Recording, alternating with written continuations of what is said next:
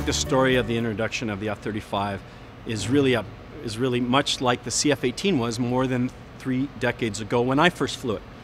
I was the first young pilot picked to fly the CF-18, and that airplane was a dramatic leap in technology and capability for the for Canada in that in the day. And the airplane evolved over the more than 30 years of service in three different combat operations.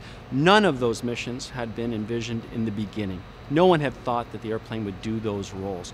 When you leap ahead to where we're at with the F 35, I think it's the same story. I think it's an airplane with astonishing capability in terms of sensors and sensor fusion and stealth that will allow Canada to do the missions that aren't even projected yet. It will certainly allow Canada protect both coastlines and the vast expanse of the Arctic more in a more effective fashion than anything that I was ever exposed to in my years flying F-18s, F-16s, or Typhoon.